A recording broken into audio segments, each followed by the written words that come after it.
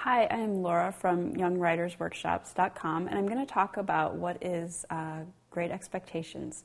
Great Expectations was a novel by Charles Dickens, um, originally pub- published in 1860 to 1861, and it was published in a serial format. So it was published, came out in um, pieces, basically, and so that explains part of the um, many uh, cliffhangers within the story or many um, sort of miniature climaxes leading up to the end of the story because it had to keep people's attention and people had to be uh, really um, curious about what was next in the story.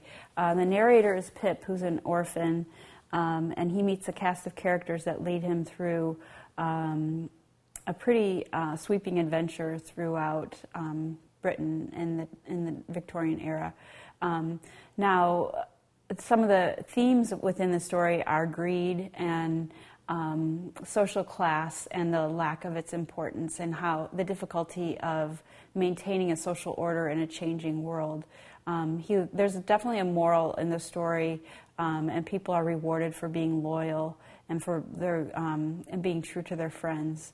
Um, it's definitely a worthwhile piece of literature to read. So I really recommend reading um, reading the book and um, really immersing yourself in this uh, sweeping tale.